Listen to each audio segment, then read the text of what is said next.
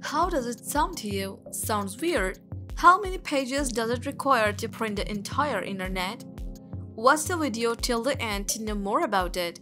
And if you're new to our channel, consider subscribing to it. Hey guys, welcome back to another mind-blowing episode of our YouTube channel. In this video, we will talk about the possibility of printing the entire internet. Have you ever considered the vastness of the internet and how much information is available online? With googling something completely unrelated. It's a frightening concept, but one that scientists are delving deeper into as we continue to learn new things and fill the hole with ever more data. But who has ever heard of a zettabytes? We'd like to quantify the internet in physical terms. If we printed it all out, how many pieces of paper would we have? Printing an internet isn't a new question.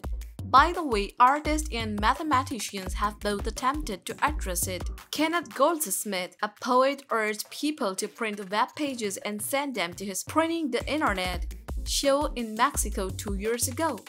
Meanwhile, in March, two University of Leicester students released a general paper attempting to quantify how much of the Amazon would have to be cut down to print the internet. The internet is a massive network of networks that stretches across the world and even into space.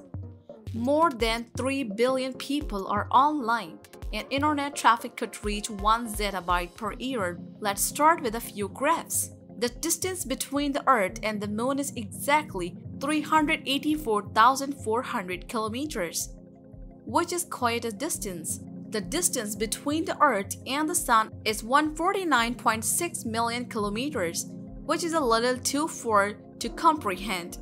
According to our calculation, printing the entire internet would require 136 billion sheets of A4 paper. Using Wikipedia as a starting point, research from the University of Leicester in the UK determined that the site has 472,3991 English pages.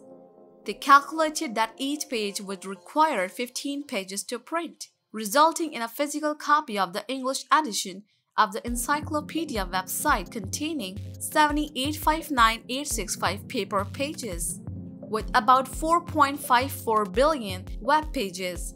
The researchers quadrupled its Wikipedia formula to estimate that each web page would require about 30 sheets to print.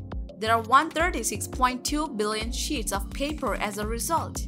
A hard copy of the internet would require 16 million trees, with 500 pieces of paper per single sheet and each tree providing 17 reams.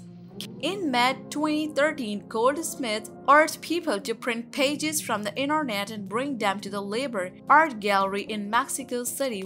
The display took up a 500 square meter space with a 6 meter high ceiling, which was stuffed with 10 tons of paper during its run. Aaron Swartz, an internet activist and programmer, sparked the project as part of its effort to liberate information by making academic works freely available in the public domain. The display sparked debate because of the environmental impact of printing the internet and the copyrighted featured in it. That's all for today's video. We hope you enjoyed it. What do you think the topic of our next video should be? Let us know in the comment section.